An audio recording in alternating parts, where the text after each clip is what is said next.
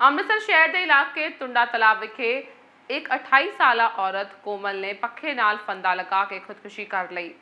ਔਰਤ ਦੇ ਪਰਿਵਾਰਕ ਮੈਂਬਰਾਂ ਵੱਲੋਂ ਦੱਸਿਆ ਗਿਆ ਕਿ ਮ੍ਰਿਤਕਾ ਪਿਛਲੇ 4.5 ਸਾਲਾਂ ਤੋਂ ਆਪਣੇ ਸਹੁਰੇ ਪਰਿਵਾਰ ਤੋਂ ਪਰੇਸ਼ਾਨ ਸੀ ਅਤੇ ਉਸ ਤੋਂ ਦਹੇਜ ਦੀ ਮੰਗ ਕੀਤੀ ਜਾਂਦੀ ਸੀ।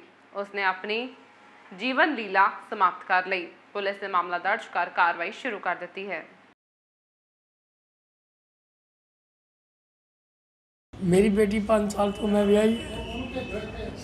ਔਰ ਸਾਡੀ 4 ਸਾਲ ਤੋਂ ਤੰਗ ਸੀ, ਮਾਰਦੇ ਟੁੱਟਦੇ ਸੀ। ਸੱਸ ਕਹਿੰਦੀ, ਮੈਂ 14 ਤੋਲੇ ਸੋਨਾ ਤੇ ਮੋਟਰਸਾਈਕਲ ਆਪਣੇ ਜਵਾਈਆਂ ਨੂੰ ਦਿੱਤਾ ਤੇ ਇਹੋ ਜਿਹੇ ਤਾਨੇ ਮਾਰਦੀ ਰਹਿੰਦੀ ਸੀ ਤੇ ਇਹਦੇ ਚ ਉਹਨਾਂ ਨੇ ਦੇਸ਼ ਦੀ ਜਿਸ ਤਰ੍ਹਾਂ ਮੰਗ ਕੀਤੀ, ਕਦੀ ਜਿਸ ਤਰ੍ਹਾਂ ਤੋਂ ਚੀਜ਼ ਮੰਨ ਲਈ, ਕੁਛ ਮੰਨ ਲਈ, ਅਸੀਂ ਗਏ ਆ ਤੇ ਕਹਿੰਦੀ, ਤੁਸੀਂ ਆਪਣੀ ਕੁੜੀ ਨੂੰ ਲੈ ਜਾਓ। ਉਸ ਉਸ ਤੋਂ ਪਹਿਲੇ ਕਰਵਾ ਚੌਥ ਦੇ ਉੱਤੇ ਬਹਾਨੇ ਦੇ ਨਾਲ ਸੱਸ ਛੱਡ ਗਈ। ਫਿਰ ਮੈਂ ਮੁੰਡਾ ਮੰਗਿਆ ਤੇ ਜਵਾਈ ਕਹਿੰਦਾ ਕਿਰਪਾਨ ਕੱਢੋ ਜੀ, ਮੈਂ ਮਾਰ ਦਿਆਂਗਾ। ਹੁਣ ਅਸੀਂ ਕਹਿੰਦੇ ਸਭ ਤੋਂ ਸਖਤ ਸਜ਼ਾ ਦਿੱਤੀ ਜਾਵੇ ਮੇਰੀ ਬੇਟੀ ਦੇ ਕਾਤਲਾਂ ਨੂੰ। ਅੱਜ ਪਤਾ ਲੱਗਾ ਜੀ ਇਹ ਕੋਮਲ ਠਾਕਰ ਨਾਮ ਦੀ ਲੜਕੀ ਹੈ ਜਿਹੜਾ ਇੱਥੇ ਨੇੜੇ ਟੁੰਡਾ ਤਲਾਬ ਹੈ ਉੱਥੇ ਉਹਨੇ ਜਿਹੜੀ ਹੈ ਸੁਸਾਈਡ ਕੀਤੀ ਸੀ। ਤੇ ਮੌਕੇ ਤੇ ਅਸੀਂ ਗਏ ਆ ਜੀ।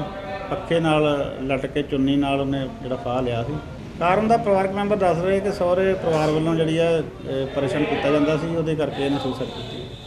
ਘਰ ਕੋਈ ਹੋ ਗਏ 4-5 ਮਹੀਨੇ ਹੋ ਗਏ। ਜੀ